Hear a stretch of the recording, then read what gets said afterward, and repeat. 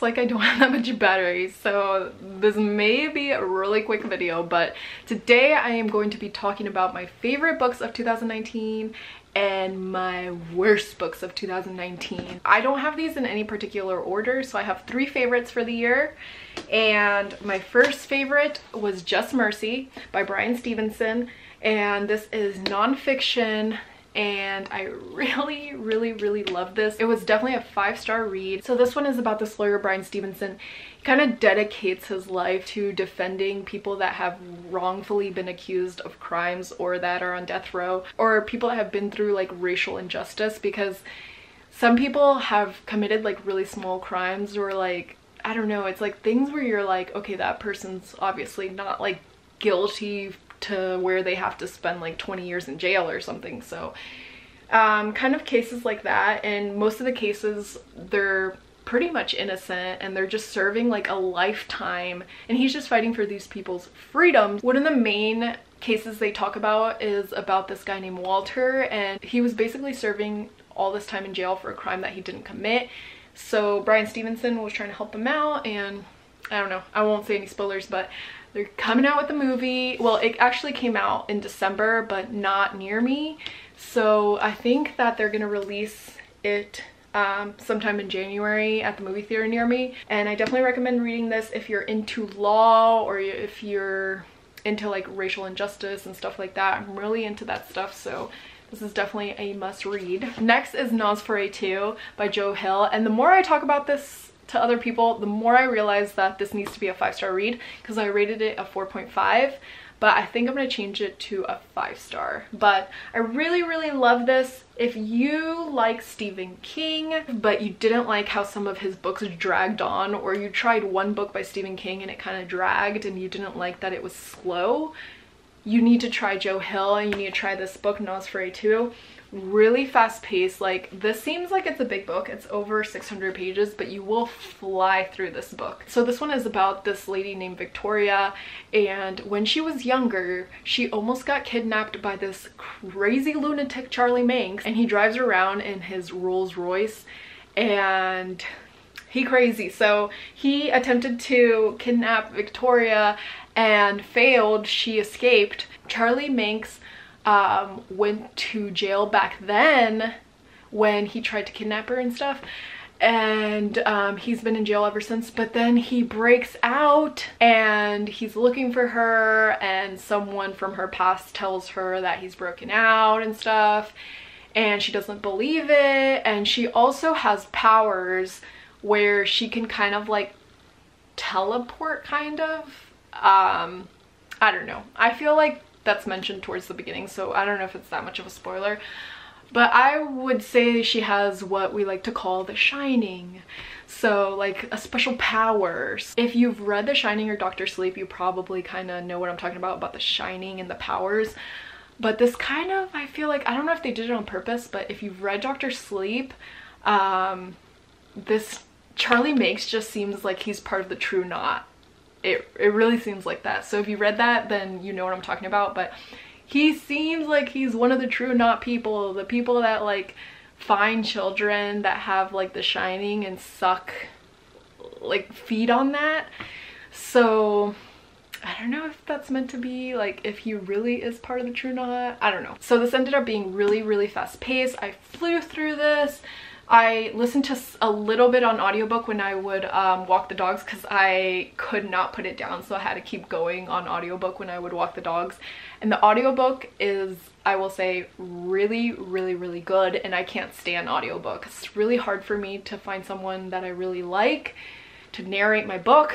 So if you want someone that will literally transform into all the different characters, then you need to listen to NOS4A2 on audiobook, but I prefer reading it. I will definitely reread this in the future because I feel like when I listen, I don't catch like all the details. So I definitely want to read this maybe this this this year again for Christmas 2020. I don't know, maybe because it is like Christmas themed. So definitely, definitely recommend this, especially if you want to get into horror or if you already love horror and you haven't read this, or like I said, if you um, didn't really like Stephen King, but you liked kind of where he was heading with his writing, but it was too slow paced for you, you will love this way better because I feel like Joe Hill is more fast-paced with his writing and his writing's really really similar to Stephen King. I get why that is because obviously Stephen King probably taught him how to write most of his stuff. Next book that was my favorite of 2019 was Miracle Creek and um, I didn't actually own any physical copies of these books.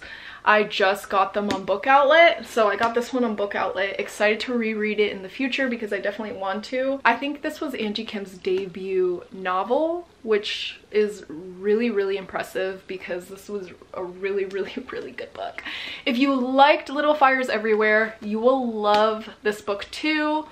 Um, so yeah, don't want to waste your time by like saying how amazing it is and then you, because a lot of people didn't like this book and I feel like it's kind of like the same thing where if you like this, you'll like that. And if you didn't like Little Fires Everywhere, then you're probably not gonna like this.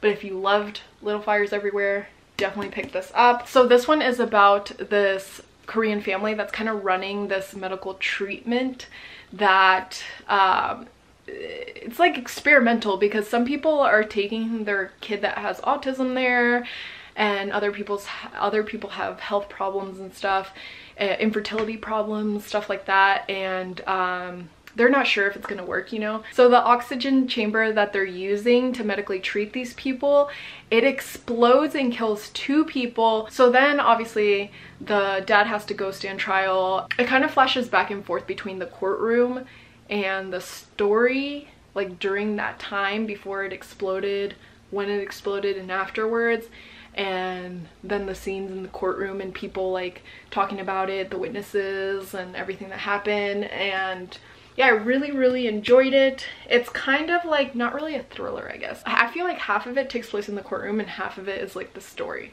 So I don't know. But I really, really love this book. Five stars. I can't wait to read it again. If you've read any of these books, definitely let me know.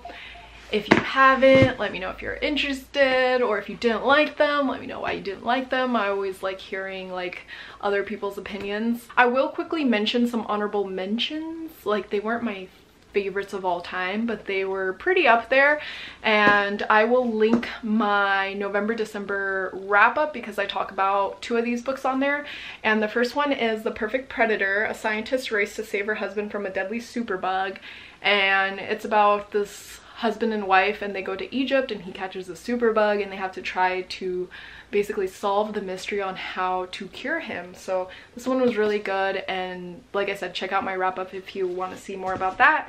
And then my other honorable mention is Dr. Sleep. Really, really love this one, 4.5 stars. And I talked about this in the wrap up as well. This one takes place when Dan is all grown up from The Shining. Dan has The Shining, which is this power that some people have.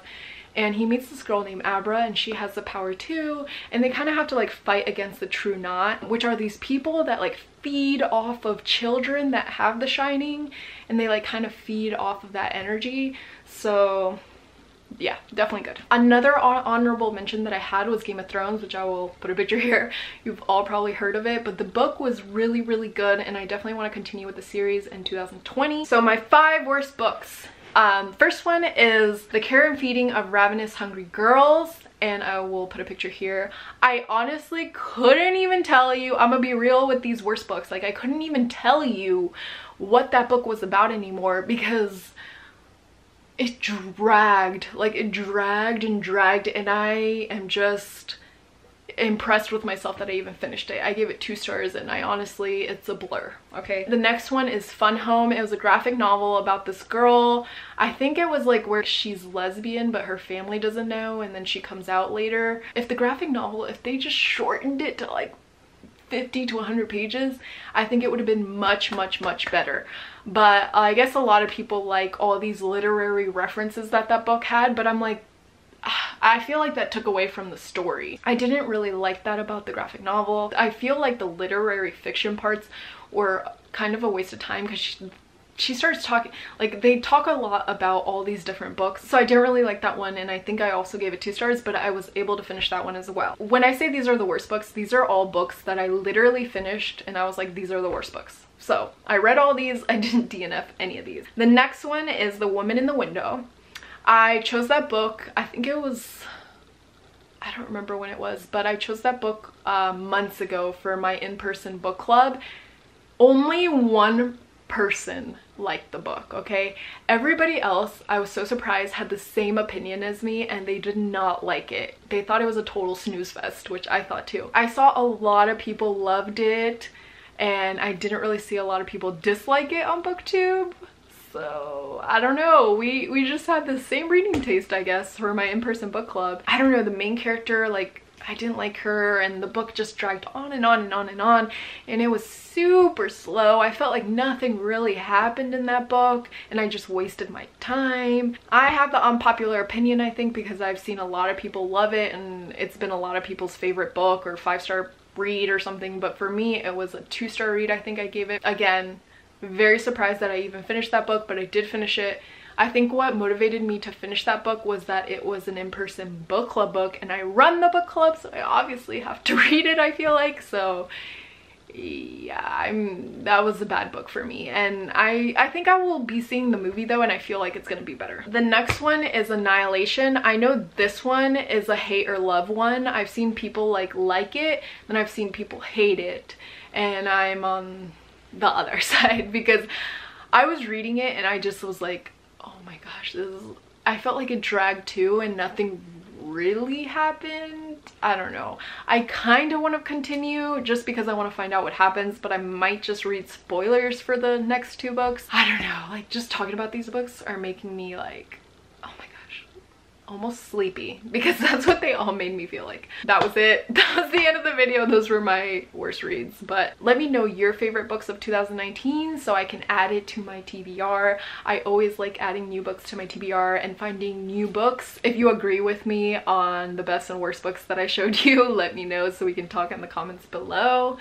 And yeah, I will see you guys in the next video. It's probably going to be like a 2020 um what I want to read this year or like a goals maybe like merged together like a uh, my goals for the year when it comes to booktube and reading and books I kind of want to read this year not specifically in January but just that I definitely want to get to this year. Oh and if you want to see vlogs more often let me know too because I was thinking of doing those like two or three times a month maybe weekly I like making them because they're easy, but I don't know. Let me know. So that's it for this video and I will see you all in the next video.